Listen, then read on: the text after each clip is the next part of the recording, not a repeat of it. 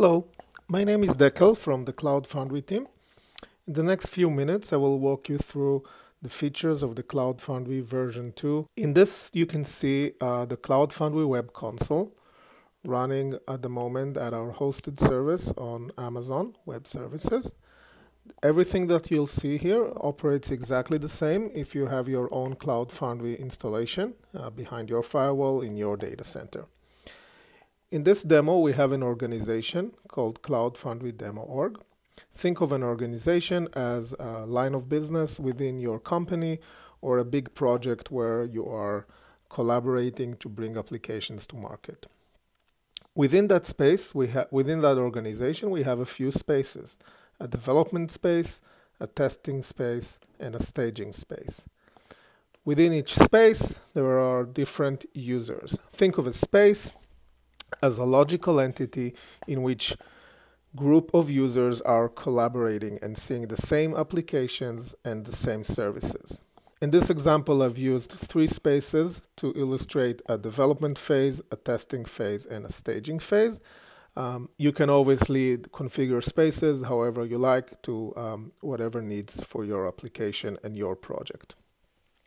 What we're going to do is we're going to deploy a Java application into the development space and then progress it to the testing phase um, without any code changes. And while we're doing that, we'll show a, a, few other features of the portal. So the application that we're going to use is an online bookstore reading in, written in Spring. It's a completely standard Spring application. Um, and you can do everything that I'm doing in this demo directly from your uh, selected IDE like Eclipse or STS by simply dragging and dropping the project into the Cloud Foundry environment. So let's get started. Um, we're going to first thing is we're going to switch back to our command line and we are going to look at the app. This is the books.war file that you've seen before and we're going to target a cloud.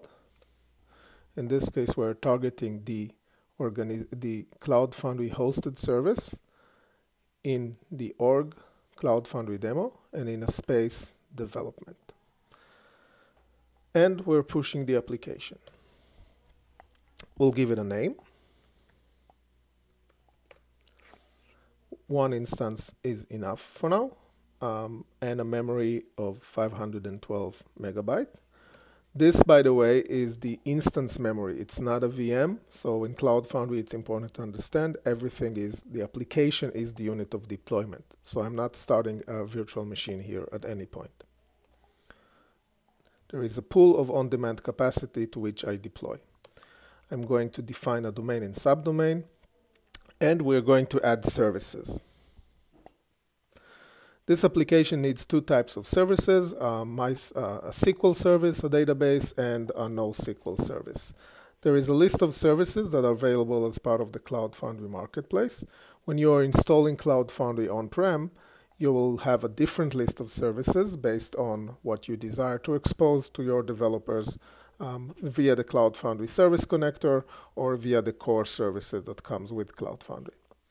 In this case, we'll select We'll start with the dev SQL service, dev database. You can select a plan. And then we'll also bind another service, which is our NoSQL service. What happens right now is I'm defining another service. And in this case, I'm creating uh, a NoSQL using Redis. We'll call it dev NoSQL.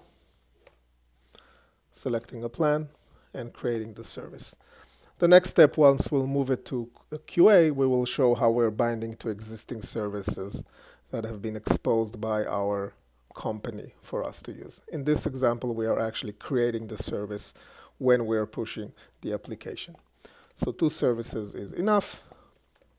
And we're going to save the configuration into a, a YAML file We'll use that file in order to repush this application to QA without answering any of those questions. So we save the configuration and now the application is being deployed. While we're doing that, uh, let's go back to the portal um, to show a few other features. So as I mentioned, you have uh, spaces as a, as a very as the logical entity. You can associate roles between users and spaces. So users can have different organizational roles, development roles. You can see here that I've, we have certain users that are part of our development environment, certain users that are part of our testing environment with different permissions, manager, developer, auditor, uh, similar in the staging roles. And I can also go and define uh, who can edit and change the billing and account information to set up spending limits, um, either internal or external, on my space. In terms of orgs, I can define, so far we deployed the application into the default free domain name uh, of the Cloud Foundry service called cfapps.io, but I can also customize the domain from for my purposes. So I can say mycompany.com here. Marketplace, this is, we've used those services. We've used ClearDB and Redis in this demo, and we are gradually adding more and more marketplace partner into this uh, list. When you are deploying Cloud Foundry on-prem, you will have your own list of services that you expose. So let, let's get back to our development space, and we can see that our application is currently running, and it's green, um, 100%, and it's bound into those two services that we just created the database and the NoSQL, and it uses some amount of CPU with one instance. And if we'll click that URL of the application, we can actually see that it's running. It's a bookstore application. We can add a book, um, which I've one of the books I've recently read um, by Dan Brown, and we can save it. And we can also look for some other Dan Brown books here and see that we have a bunch of other books. So full-blown application running on a URL directly. And let's see what happens here. So let's go back into our command line. We were here, right? So we start the first stage, we started uploading the WAR file, which is the application package that this 19 meg. This is the source code, the compiled source code. Now, Cloud Foundry uses a concept of a build pack. A build pack is basically a set of instruction of what runtime bits I need in order to run this application. In this example, it's a Java app. So Cloud Foundry used the default build pack for Java. You can also customize your own build pack and basically put whatever you want there.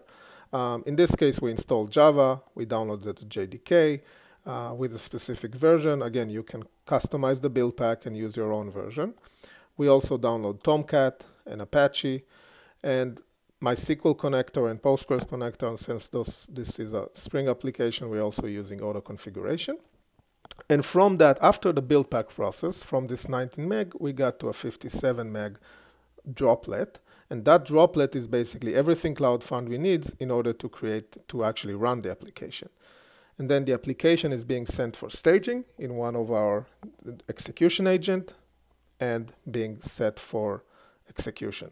Now, it's important to remember that I haven't started any virtual machine here, any app servers, any web servers. It's all on demand, and the application is the unit of deployment. Now, if we go back to our portal here, what we're going to do is let's say we're happy with our application, everything works. Now we want to move it to the next phase in the lifecycle, to the testing phase. So we don't have to wait weeks for setting up new environments. Everything is on demand. All we're doing is we're targeting a different space and redeploying this application. And in this example, we already have two services provisioned for us because this is, let's say I'm a, not a developer right now, I'm a QA user and I need to bind to our production level services that were exposed to me by the company DBA. So it's a database and a NoSQL. So in order to do that, we're basically going back to our command line here and we're going to target a different space. So instead of development, we will target our testing space. And then we're going to push the exact same application. Now, while we're doing that, before we're doing that, we are actually going to change the manifest file. So remember when I answered yes to the save configuration, in this manifest file, I basically I can see my application name and the services that it's using.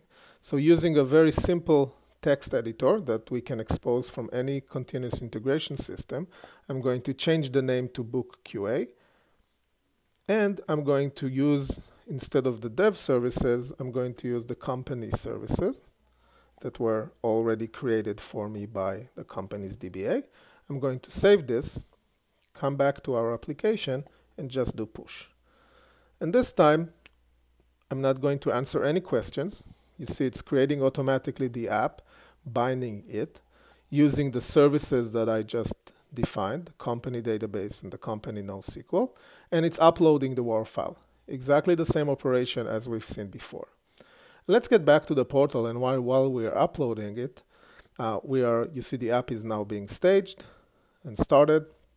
No code changes, no configuration changes, binding into different services in a new environment. While we're waiting for the app to be uploaded, let's show some other cool stuff. Here is a small little Ruby app. This time it's a Ruby application. All it's doing is printing the port of the instance. And we are going to scale it. Instead of one instances, we're just going to say 20. And I can do 100. So there is another uh, video on our YouTube channel that actually shows how you do this to hundreds of instances very quickly. Now let's look at our instance count. And you see that it's in 30% and it's starting to rise. Now what's actually happened here is that we are starting all of these extra instances of the application. And if I go here and start hitting refresh, you will see that the port is actually changing. So we're not only creating additional instances very, very fast, blazing fast, we're also load balances between them. And we can do that because, again, we're not starting any virtual machines.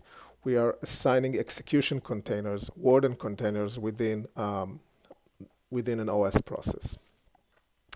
So let's get back to our staging environment. And you see that the app is running and I can click now it's running in QA using two different services. I can click it and again, same thing. I can, this is starting a new database right now. So if I'll go and search for Dan Brown this time, you will not see the book that I've added before. So binding into new databases. So let's recap, quickly recap on what we've seen. We've seen the Cloud Foundry Web Console running on a hosted service on AWS and can run exactly the same on your environment. We've seen how you target different spaces, pushing a Spring application from scratch to a live running website without starting any web servers, app servers, VM. Everything is on demand. In our development environment, we've actually created the services and bound them, bind them into the app. In our testing environment, we used existing services exposed to us from our company. We've also showed how we can scale application to 20 instances or hundreds of instances very, very quickly. We've shown the ability to do things directly from your development IDE, and we've also shown the Cloud Foundry command line. Thank you very much.